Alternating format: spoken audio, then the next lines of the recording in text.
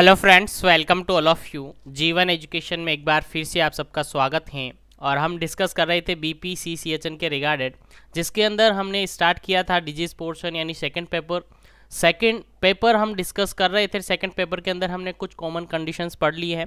और उसके अंदर आगे हम जीआईटी सिस्टम यानी गैस्ट्रो सिस्टम पढ़ रहे हैं। उसके अंदर हमने नोजिया एंड ओमिटिंग पढ़ा है। देन डायरिया हमने पढ़ा है तो दो डिज़ीज़ पोर्शन हमने बेसिकली पढ़ी है और आई थिंक आप सबको याद होगी। लेकिन आज के सेशन के अंदर हम पढ़ेंगे कॉन्स्टिपेशन जो कि काफ़ी इंपॉर्टेंट और काफ़ी कॉमन कंडीशन है, जो कि आपको कम्युनिटी के अंदर देखने को मिलती है। तो उसके बारे में अपन कंप्लीटली जानने वाले हैं, लेकिन उससे पहले मैं आपको कुछ कीज़ यहाँ पर बताने वाला हूँ, वो आप ध्यान रखें। देखिए डिज़ीज़ पोर्शन हम पढ़ रहे हैं और डिज़ीज़ पोर्शन के आपको मैं यहाँ पर कंपैरिजन करके बताऊँ कि आपने नर्सिंग के अंदर क्या पढ़ा था डिज़ीज़ पोर्शन के अंदर। और आप कम्युनिटी हेल्थ ऑफिसर यानी कि B P C C H N के रिगार्डेड जो कोर्स हैं जो ट्रेनिंग पीरियड आप, आपका है उसके अंदर आप क्या पढ़ने वाले हों। तो देखिए कोई भी डिज़ीज़ कंडीशन लाइक आप यहाँ पर डायरिया की बात करें तो डायरिया के अंदर आपने एज ए नर्सिंग के अंदर जब आप नर्सिंग एकेडमिक सेशन में थे तब आपने पढ़ा था कि डायरिया के अंदर पहले तो डायरिया का इंट्रोडक्शन कि डायरिया क्या होता है इसका इंट्रोडक्शन आपने पढ़ा था और वही एग्ज़ाम में आपने लिखा था। उसके बाद इसका डेफिनेशन इसके बाद इसका डेफिनेशन जो कि आपने पढ़ा था, ठीक है? उसके बाद आप इसके रिगार्डेड कोजेस पढ़ते थे, यानी इटियोलॉजी इसके रिगार्डेड पढ़ते थे और साथ ही इसके रिस्क फैक्टर्स आप पढ़ते थे, ठीक है? यहाँ तक आप पढ़ते थे जब नर्सिंग आप कर रहे थे। उसके बाद यहाँ इतना पढ़ने के बाद आप यहाँ पर पढ़ते थे डायग्नोसिस यहाँ पर आप पढ़ते थे डायग्नोसिस और डायग्नोसिस के बाद आप पढ़ते थे मैनेजमेंट डायग्नोसिस के बाद आप पढ़ते थे मैनेजमेंट और उसके रिगार्डेड जो भी प्रिवेंटिव मीजर्स होते हैं प्रिवेंशंस भी आप पढ़ते थे। ठीक है? यानी मैनेजमेंट के अंदर आप उसका सर्जिकल मैनेजमेंट है, या फिर मेडिकल मैनेजमेंट है, और नर्सिंग मैनेजमेंट इस तरीके से आप पढ़ते थे। तो मैनेजमेंट के अंदर तीन तरीके से आप मैनेजमेंट पढ़ते थे। पहला, आप मेडिकल मैनेजमेंट पढ़ते थे देन आप सर्जिकल मैनेजमेंट हैं तो फिर सर्जिकल मैनेजमेंट पढ़ते थे, और देन आफ्टर आप नर्सिंग मैनेजमेंट आप पढ़ते थे। तो तीन तरीके से वहाँ पर आप मैनेजमेंट करते थे, और फाइनली उसके प्रिवेंशन आप बताते थे और यहीं पर इतना सा डिज़ीज़ पोर्सन आप पढ़ते थे। ठीक है? इतना सा आप पढ़ते थे। अब आपको B P C C H N यानी C H O bridge course के रिगार्डेड जो पढ़ना है, वो थोड़ा सा एक्स्ट्रा पढ़ना है, कैसे पढ़ना है? देखिए, बताएँगे।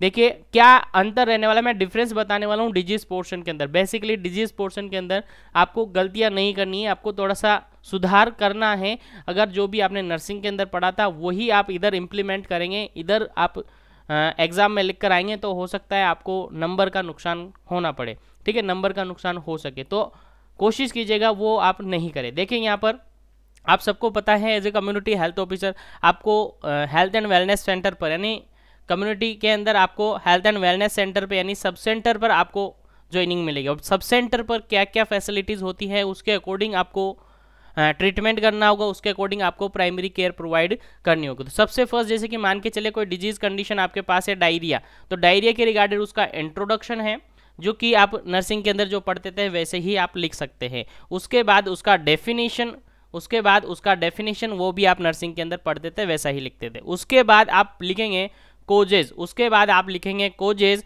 और उसके बाद आप लिखेंगे रिस्क फैक्टर। उसके बाद आप लिखेंगे रिस्क फैक्टर। अगर है तो रिस्क फैक्टर आप उसके रिगार्डेड आप पढ़ेंगे। उसके बाद आप यहाँ पर पढ़ते हैं sign and symptoms. Sign and symptoms, sorry, यहाँ पर मैंने साइन एंड सिम्टम्स नहीं बताया। रिस्क फैक्टर के बाद यहाँ पर साइन एंड सिम्टम्स आप ऐड कर लीजिएगा। ठीक है? यानी रिस्क फैक्टर के बाद कोजेज, आपने introduction then definition then causes then risk factor और देन साइन एंड सिम्टम और देन असेसमेंट ऑफ़ पेशेंट, ये इंक्लूड इसके अंदर किया जा रहा है। ठीक है, असेसमेंट ऑफ़ पेशेंट ये इसके अंदर इंक्लूड किया हुआ है, यही आप ध्यान रखना है। यही आपको ध्यान रखना है कि असेसमेंट ऑफ़ पेशेंट ज़रूर आपको मेंशन करना है। उसके बाद आप यहाँ पर डायग्नोसिस की यहाँ पर ज़रूरत नहीं होती है। डायग्नोसिस आप बनाना भी चाहते हैं तो डायग्नोसिस डायरेक्टली आप बना सकते हैं। ठीक है, क्योंकि असेसमेंट आप यहाँ पर as a community health officer sub centre पर आप पोस्टेड है तो यहाँ पर आपके पास ज़्यादा मीजर्स नहीं होते हैं ज़्यादा फैसिलिटीज़ नहीं होती हैं। तो आप कोजेज uh, और साइन सिम्टम के अकॉर्डिंग उसका uh, एक तरीके से डायग्नोसिस uh, बना लेते हैं डायग्नोसिस आप फाइंड आउट कर लेते हैं और उसके अकॉर्डिंग आप मैनेजमेंट करते हैं। ठीक है?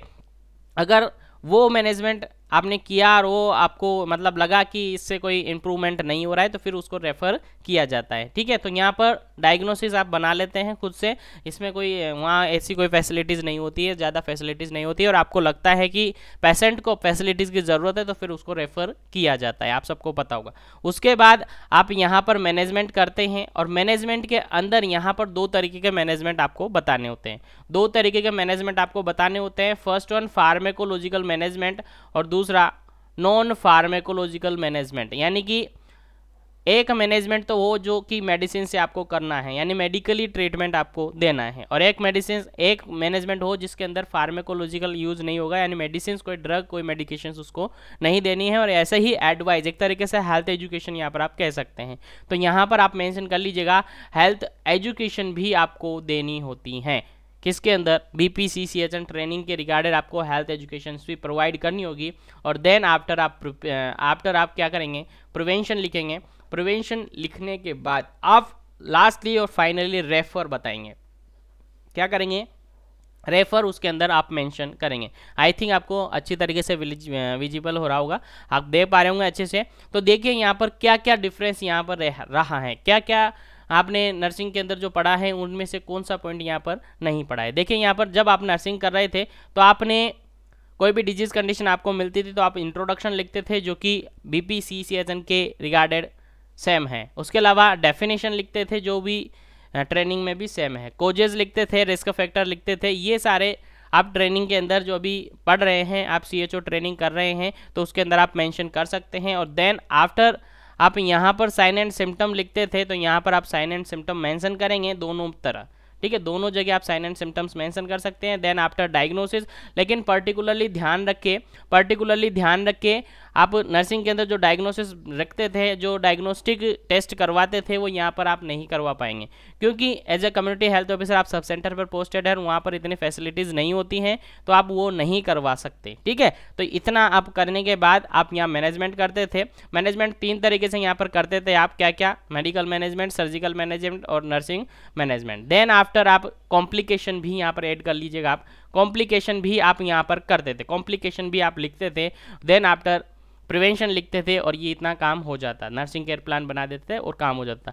लेकिन यहाँ पर आपको introduction definition causes risk factor sign and symptom ये तो कॉमन है, लेकिन एक पॉइंट में हाईलाइट यहाँ पर करूँगा, दो तीन पॉइंट यहाँ पर मैं हाईलाइट करूँगा, उनको आपको ध्यान रखना है, वही स्पेशली आपको ध्यान रखना है।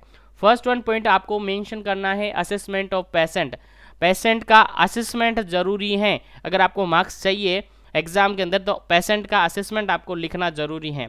उसके अलावा डायग्नोस्टिक टेस्ट के अंदर स्पेशली ज़्यादा कुछ टेस्टेस वहाँ पर अवेलेबल नहीं होते फैसिलिटीज़ नहीं होती है तो ये ज़्यादा नहीं भी करवाए। एक तरीके से नॉर्मली आप असेसमेंट एक तरीके से डायग्नोसिस उसका बना देते हैं। उसके अलावा मैनेजमेंट के अंदर आपको दो तरीके से मैनेजमेंट करना है। फिर एक तरीके से नॉन फार्मेकोलॉजिकल मैनेजमेंट और फार्मेकोलॉजिकल मैनेजमेंट और देन आफ्टर हेल्थ एजुकेशन ज़रूर प्रोवाइड करना है। हेल्थ एजुकेशन ज़रूर प्रोवाइड करना है क्योंकि as a community health officer है काफ़ी सारे डिज़ीज़ कॉमन कंडीशंस कम्युनिटी के अंदर होती हैं। तो हेल्थ एजुकेशन जो भी क्लाइंट uh, जो भी पेशेंट आता है जो भी क्लाइंट आता है उसको हेल्थ एजुकेशन ज़रूर प्रोवाइड करनी है।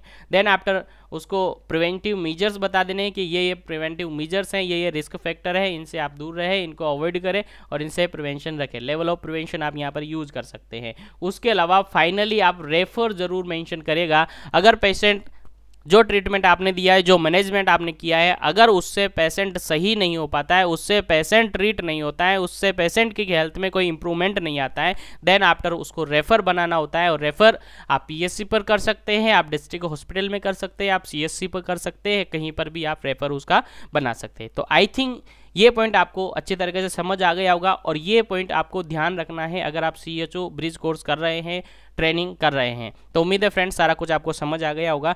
अब हम स्टार्ट करते हैं आज का सेशन दैट इज़ कॉन्स्टिपेशन और उसके रिगार्डेड कंप्लीटली पढ़ते हैं।